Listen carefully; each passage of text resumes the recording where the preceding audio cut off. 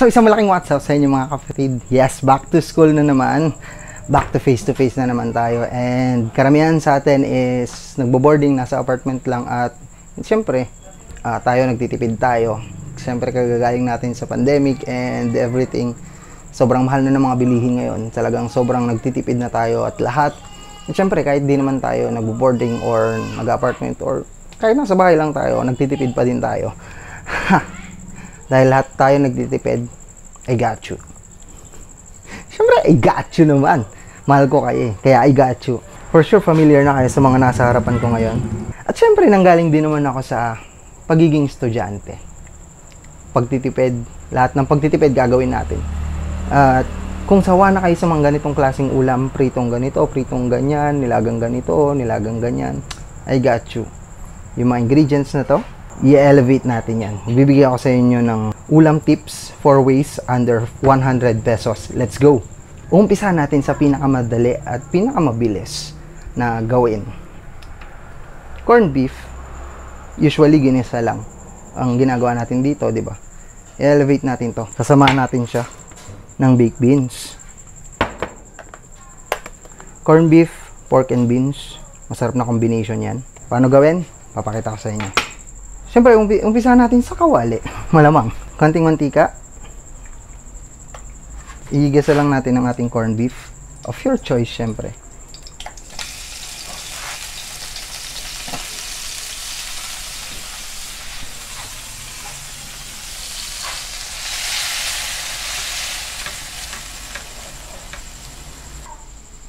Hintayin lang natin magisa to. Siyempre, pwede nyo lagyan ng bawang at sibuyas to. At dahil nga nagtitipid tayo, sagad-sagad na natin. Mantika lang goods na yan.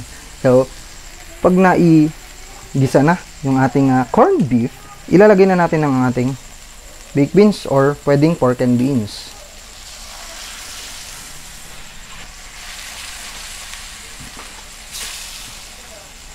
Gigisa lang natin to for around 2 minutes and pwede nyo lagyan ng pamintaw pero kahit wala sobrang sarap na nito. So yun na yun. First combination corn and beef. Ano corn and beef? First combination corn beef and pork and beans. Goods na goods na yan. Ang next one hot dog. Usually piniprito lang to pero kung sawa na kayo sa pritong hotdog I got you. Gagawin natin siyang sizzling hot dogs. Siling pansigang. Kung meron din kayong bell pepper, pwede nyo lagyan ng bell pepper.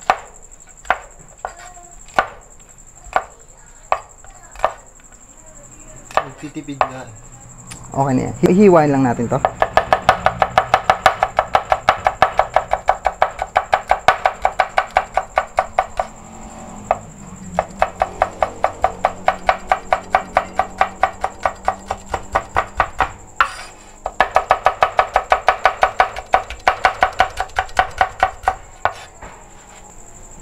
Siyempre, yung hotdog natin. Hihiwain lang din natin. Siyempre, babalatan muna natin. Hihiwain lang natin to sa laki na gusto natin. Sa akin,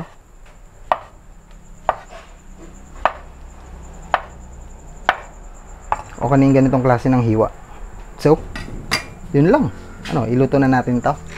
Magsisimula ulit tayo sa, syempre, pan. Lagyan lang natin ng konting oil. Igigisa muna natin ang ating sili. Again, kung may bell pepper kayo, mas masarap kung meron yung bell pepper. Igisahin lang natin ito ng saglit. Pag nagisa na, pwede na natin ilagay ang ating hot dogs.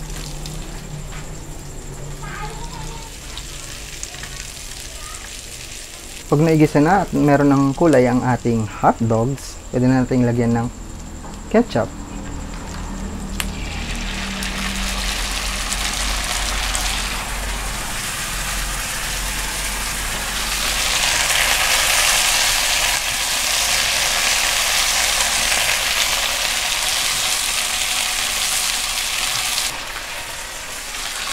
After natin lagyan ng ketchup, finish up lang natin ng konting tapa mints.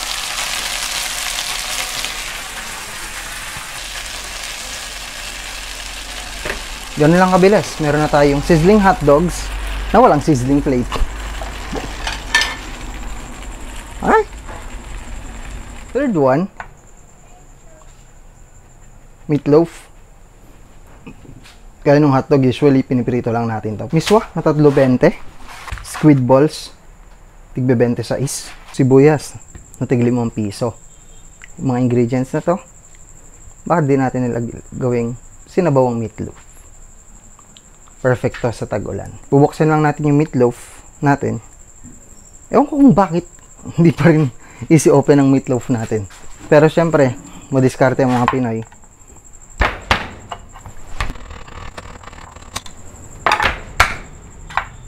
I-open ng buong one side, lagyan ng butas sa kabila, tsaka hipan.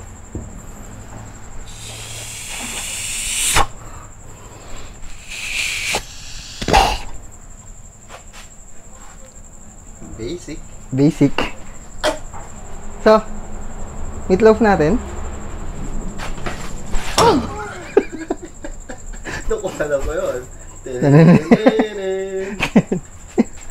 meatloaf natin. Hiwain lang natin into cubes.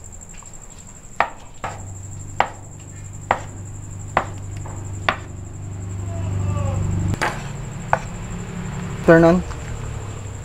Squid balls.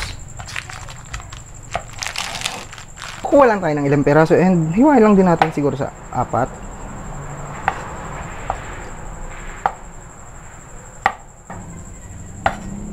After nun, maghiwa tayo ng sibuyas.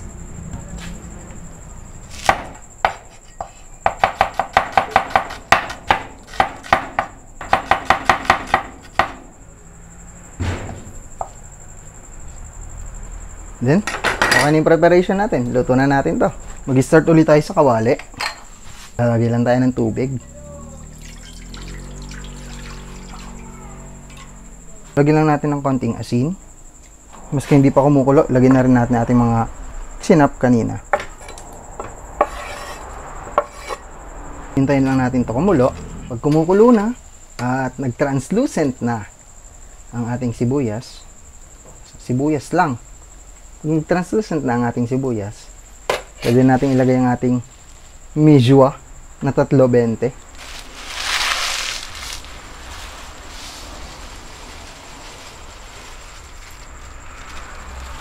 lulutuin na lang natin yung mishwa and meron na tayong tipid meaty soup na perfect sa tag-ulan.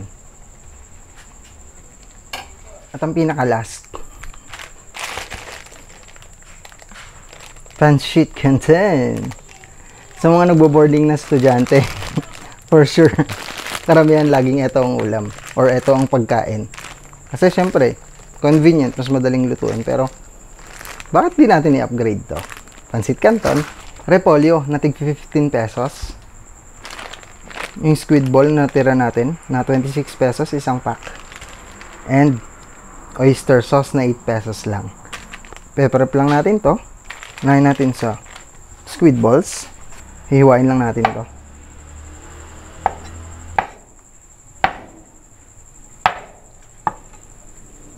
Repolyo.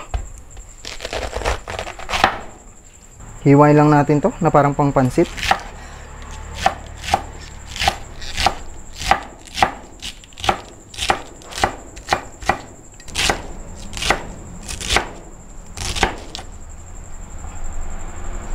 And, luto na tayo. Siyempre, mag-start tayo sa kawali. Lalagyan lang natin ng mantika.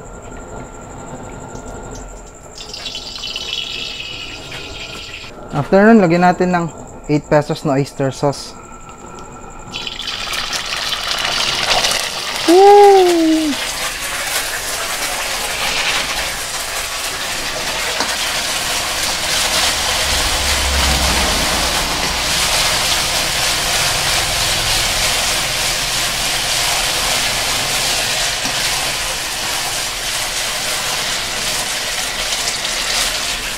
Pag medyo na-cook down na ang ating oyster sauce, lalagay natin ang ating, unahin natin ilagay ang ating squid balls.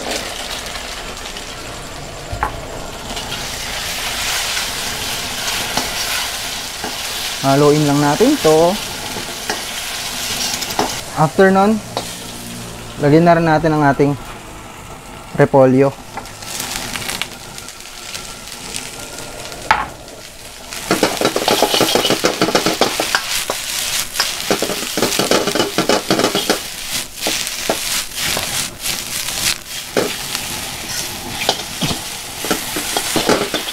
Naisip lang nga kasi ako. Ano? Nagtitipid pero nakawak.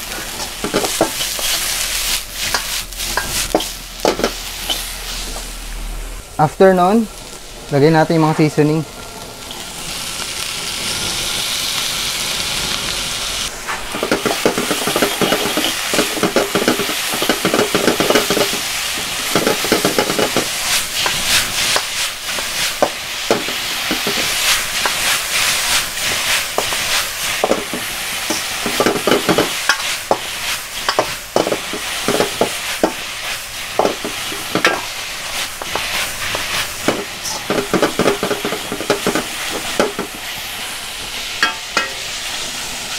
Pag malapit na maluto ang ating repolyo, lalagyan natin ating pancit canton. Niluto lang namin ito 50%, 50% of the way.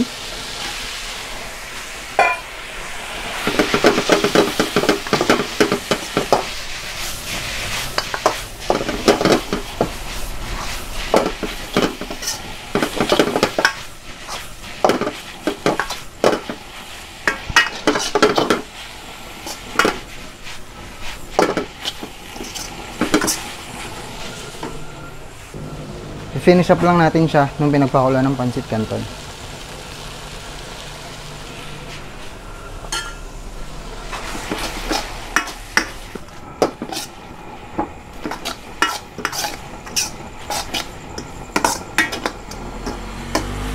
Yun. Ready na ang ating medyo social na pancit canton. So yun na nga yun no. Sobrang bilis lang sobrang basic lang. Hindi porket nagtitipid tayo, kailangan na rin natin tipidin yung yung lasa or yung sarap ng ulam natin. Mga simpleng ulam na typical nating kinakain pero in-elevate natin at mas pinasarap pa natin. Ang corned beef natin na typical na ginisang corned beef lang, ginawa nating corned beef, ginisang corned beef with pork and beans ang ating hotdog na usually piniprito lang, ginawa nating sizzling hotdogs na medyo wala lang sizzling plate. Ang ating meatloaf na typical na prito lang din, ginawa nating tipid meaty soup na perfect sa tag-ulan. Ang ating pansit canton na mukha pa rin naman siyang pansit canton pero in-elevate natin siya to the next level. Yeah, pansit ewan. Pangkaraniwang ulam na siguro nakakasawa kung araw-araw na prito na lang, araw-araw na ganito na lang. In-elevate natin siya. In-elevate natin siya pero ganun pa din. Tipid pa rin yung mga ingredients na ginamit natin. Mabibili lang natin siya sa malapit na tindahan sa atin, sa mga nagbo-boarding house. For sure, yung mga ingredients na ginamit ko, meron naman sa mga tindahan na malapit sa atin ganun din sa mga nag-apartment or nasa nasa simple nasa bahay lang no? So yun na yan at dahil nga mahal ko kayo syempre I got you. Sana makatulong tong mga ulam ideas tipid ulam ideas na to sa ating mga susunod na pagkain palalo na sa mga nag boarding house na estudyante or sa mga apartments syempre sa mga household na nagtitipid. So ayun maraming maraming salamat dun sa mga nag-subscribe sa atin, no. Uh, hindi ko inaasahan na ganong kabilis na lalago ang channel natin. Uh, ngayon nasa around almost 1,300 subscribers na tayo. Maraming maraming salamat sa mga kapwa ko, small YouTubers, small vloggers na nag-subscribe sa atin. And syempre dun sa mga pangkaraniwang tao na nanonood lang sa YouTube, maraming maraming salamat sa inyo. Mahal na mahal ko kayo. And yon subscribe lang kayo, like nyo tong video, share nyo na rin para makita ng mga iba pa sa mga nanay dyan, sa mga tatay dyan na may mga anak na nagbo-boarding house baka makatulong sa kanila to and lahat tayo nagtitipid. Pero hindi naman necessarily na pati yung lasa ng pagkain natin is titipirin natin. So, yun na yan. Yun na yan. Like, share, and subscribe. Bye-bye.